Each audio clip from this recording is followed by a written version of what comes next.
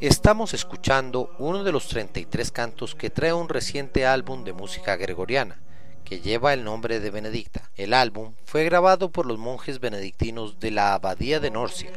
Ellos cantan oraciones y alabanzas a Nuestra Señora. El disco comienza con el sonido de la campana del monasterio.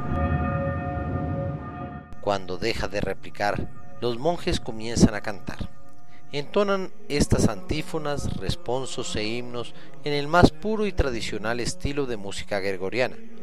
El álbum se volvió éxito en todos los segmentos de público. La venta y las audiciones del CD sobrepasan los números del conocido tenor italiano Andrea Bocelli.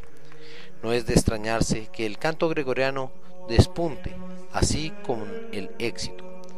La población tiene añoranza de la música que hace siglos prepara el temperamento de los fieles para subir el alma a Dios.